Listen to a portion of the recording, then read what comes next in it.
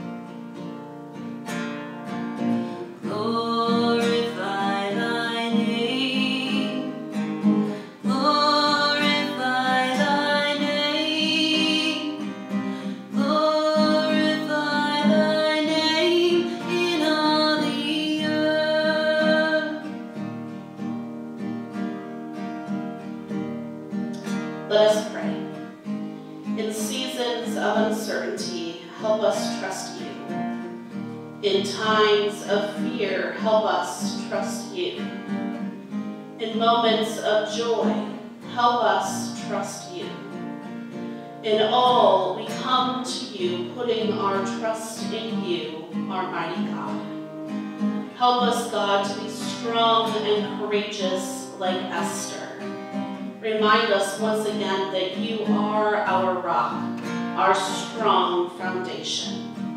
Like a tree whose roots are deep and strong, we know that when we stand strong in you, we can weather the storms of the world. And now, let us join our voices in one as we pray the prayer Jesus taught his disciples pray. Our Father, who art in heaven, hallowed be thy name. Thy kingdom come, thy will be done, on earth as it is in heaven. Give us this day our daily bread, and forgive us our trespasses, as we forgive those who trespass against us. And lead us not into temptation, but deliver us from evil. For thine is the kingdom, and the power, and the glory forever.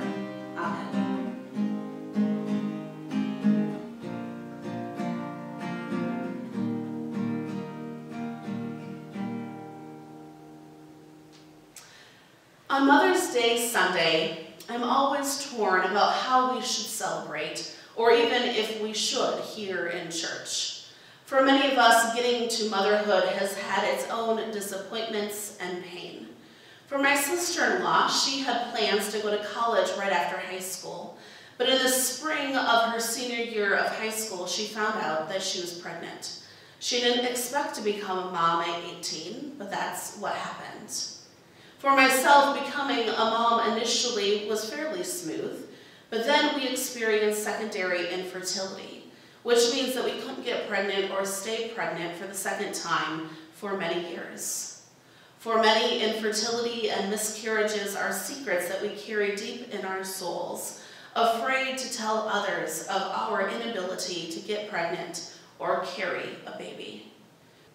For some, becoming a mom was easy, but now there are strained relationships and even total disconnection. And for others, they have lost their mom. And this day brings the grief and pain to the forefront once again. So, as I said, this day can be challenging to celebrate. And so, for all these reasons and more, I celebrate all women this day. Last week, we started a sermon series about a woman from Scripture named Esther. So, Esther was a young woman that lived in Susa. She won the beauty pageant and became the new queen. The previous queen had been dethroned for not showing off her beauty after a really long party. Esther keeps her Jewish identity to herself.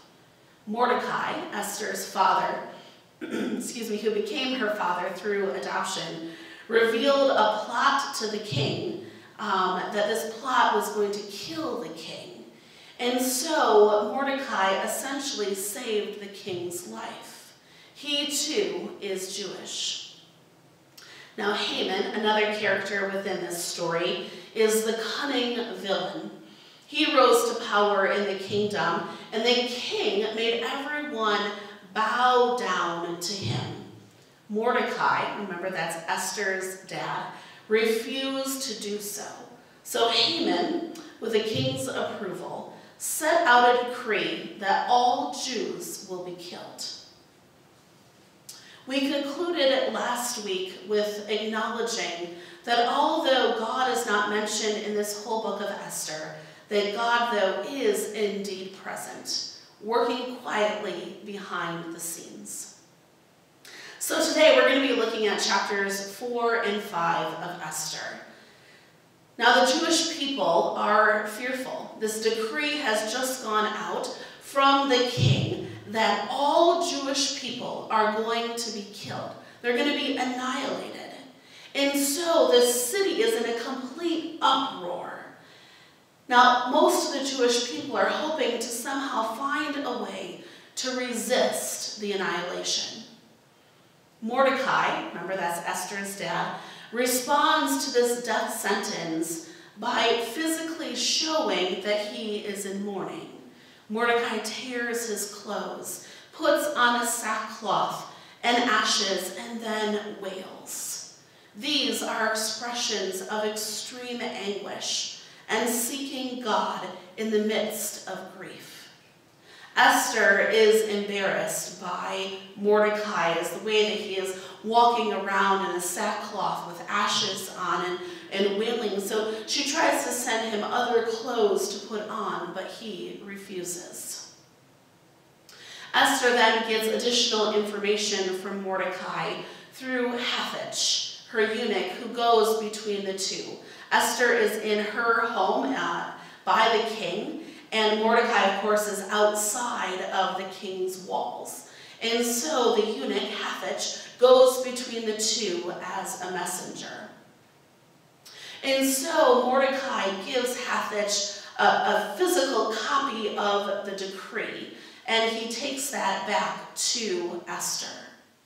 We also learn at the very beginning of chapter 4 that the reason Haman, Haman was able to convince the king uh, for this annihilation was by promising the king that he was going to pay lots of money to put into the king's treasuries. Mordecai then tells Esther that she needs to go to the king to beg for mercy for her people. And so that's where we pick up the scripture for today. Esther 4, 9 through 17. So Hathach returned to Esther with Mordecai's message. Then Esther told Hathach to go back and relay this message to Mordecai.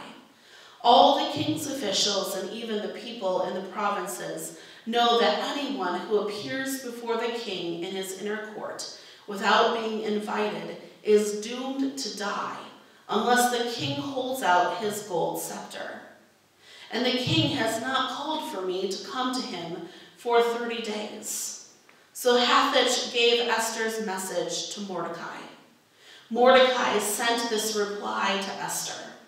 Don't think for a moment that because you're in the palace, you will escape when all the other Jews are killed. If you keep quiet at a time like this, deliverance and relief for the Jews will arise from some other place, but you and your relatives will die. Who knows if perhaps you were made queen for just such a time as this. Then Esther sent this reply to Mordecai Go and gather all of the Jews of Susa and fast for me. Do not eat or drink for three days, night or day. My maids and I will do the same. And then, though it is against the law, I will go in to see the king. If I must die, I must die. So Mordecai went away and did everything as Esther had ordered him. Although God is present in this, Esther was not God's puppet. She had free will just like we do today. She had a choice. She could ignore the plea from her people and her father. She could keep her identity a secret for as long as she possibly could and be safe in the king's palace, and then do nothing. Or she could approach the king with the very real possibility of being killed, reveal her identity, and try to save her people. The choice was hers, and hers alone. That is the beauty and the curse of free will. Mordecai's speech in verse 13 and 14 not only spoke to Esther, but can and does speak to us today. Verse 14, um, I'm going to paraphrase this, um, where it says, If you keep quiet at a time like this, deliverance and relief for those that are being persecuted may come from somewhere else, but God is calling you. Who knows if perhaps you were brought to this time and this place for such a time as this. We like to be comfortable and perhaps not take risks.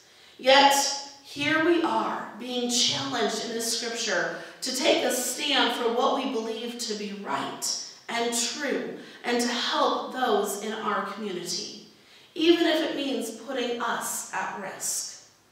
John Wesley, in his comments about Esther, says this. He says, We should, every one of us, consider for what end God has put us in the place where we are.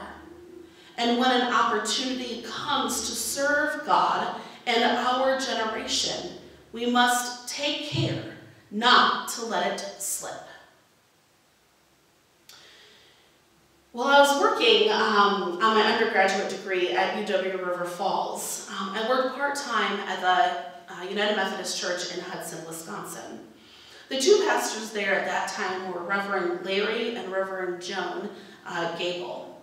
Joan was my pastor when I was a child uh, at Ash Creek, and so I had this previous connection with her. And so while working there, I had already known Joan, but got to know her a little bit better. Um, but I also got to know her husband, Larry. I learned over lunch one day that while he was in college, he marched with Dr. King. This week, I reached out to him to get his story. He replied to me and, give, and gives me permission to share this with you. Racism was running rampant in the 60s. Larry could not stay silent. He had to do something for such a time as this. And so he writes, I was a junior at North Central College in Naperville, Illinois. I was 21 years old and active in the civil rights movement. I had heard Dr. King in a college convocation, and he won my heart. A few years later, the march from Selma to Montgomery began. Now, I grew up in the inner city of Milwaukee on 7th and Clark Street. My home is part of I-43 now. I saw what racism was doing to the African American friends that I had. My family moved to the north side of Milwaukee while my friends and families could not. I knew of an African American man who was part of the Wisconsin News Channel 6 who made twice the money that my dad did. Yet, he could not find a home to buy outside of the hood. He was redlined. The injustice of racism and racial politics burned within me. If America was about life, liberty, and the pursuit of happiness, why were so many denied it? It was just wrong. This did not set well with my family at all and still doesn't.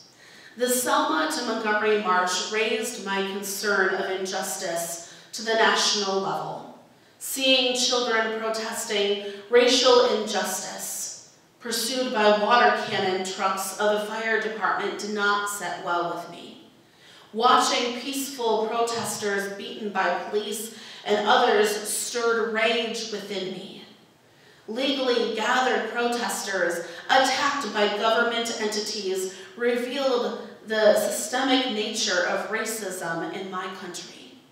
The issue needed to be addressed and it needed to be done now.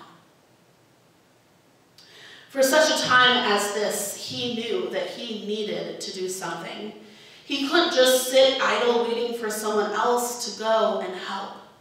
And so he writes, this quote by Martin Niemöller, not sure if I'm saying that right, but let's go with it, uh, who is a German theologian and Lutheran pastor from uh, Germany during World War II Holocaust time, made me speak out about racism. And the quote goes like this. First, they came for the socialists, and I did not speak out because I was not a socialist.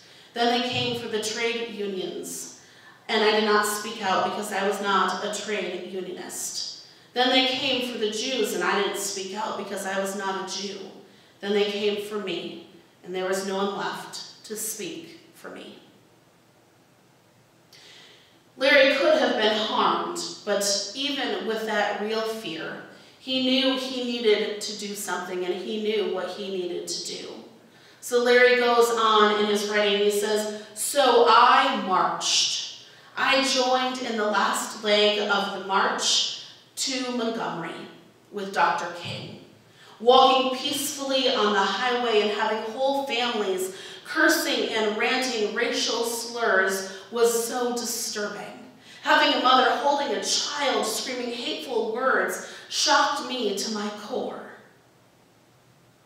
Where was the church in responding to all this hatred?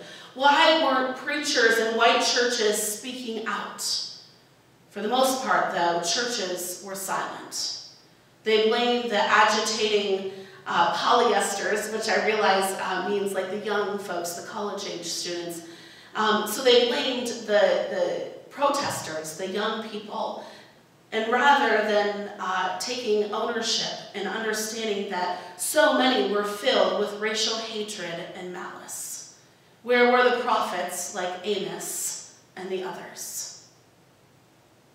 God had given Larry a heart for all of humanity, had given him the courage to do what so many could not.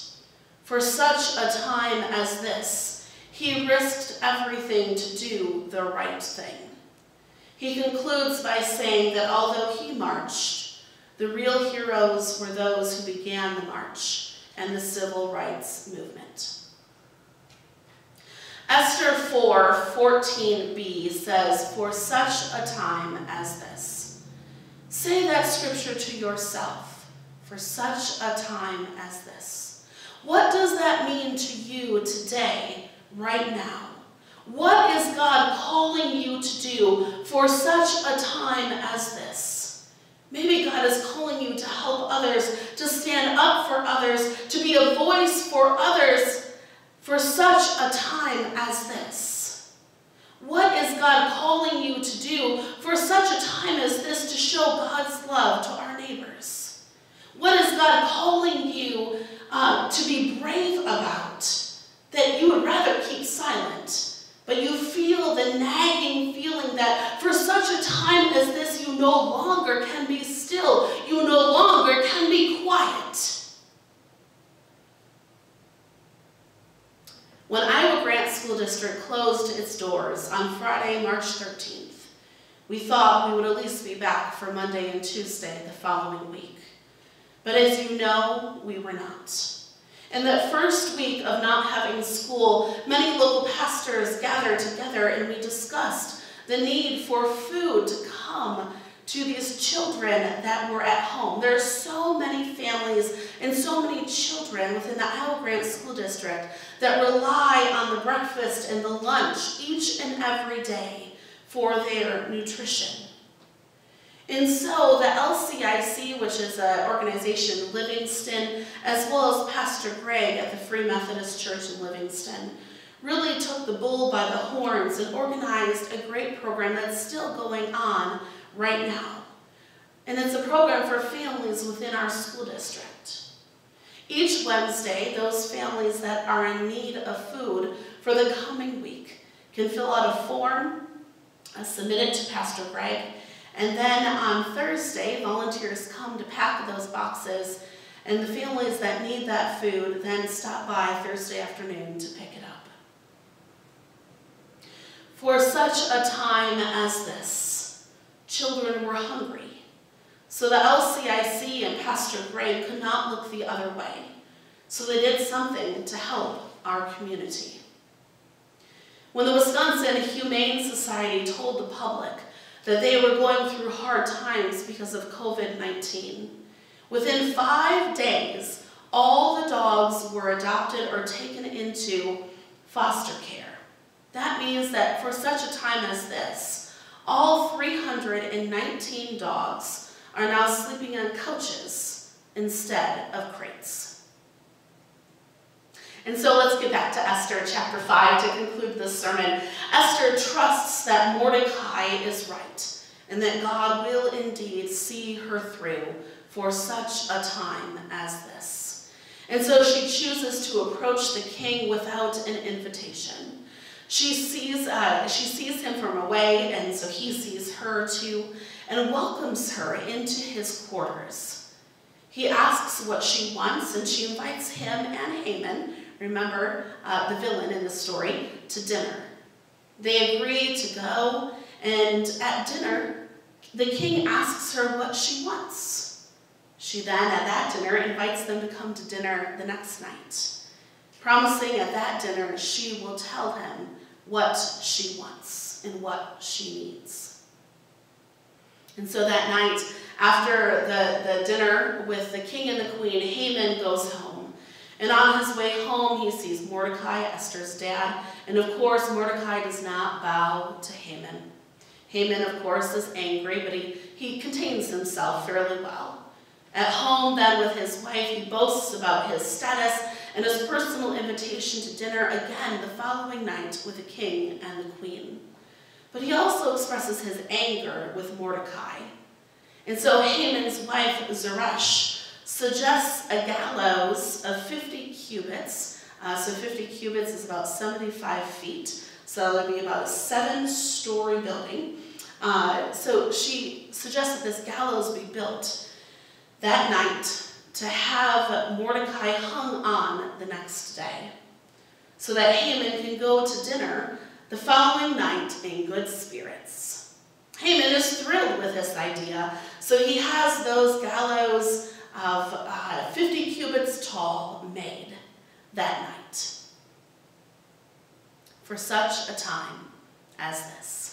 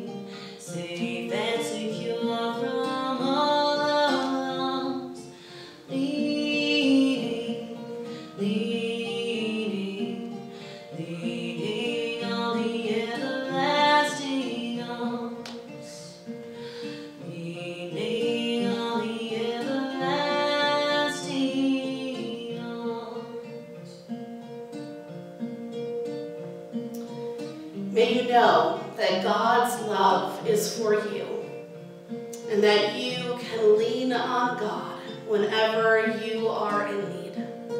And so go. Go for such a time as